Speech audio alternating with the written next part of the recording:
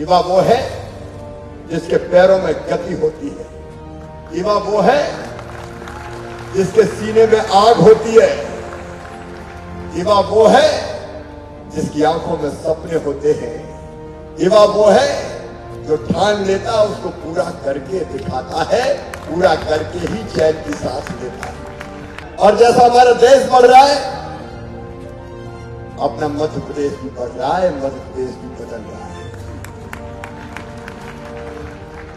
और वो और बदलना चाहते हैं। केवल सरकार नहीं, समाज का साथ। युवाओं का साथ, नौजवानों का साथ। और यहाँ जो बैठे ये साधारण नौजवान नहीं है। ये सीएम सीएलडीपी के छात्र हैं। बीएसडब्ल्यू एमएसडब्ल्यू एक काम करने की अलग आग मुझे दिखाई दे रही है।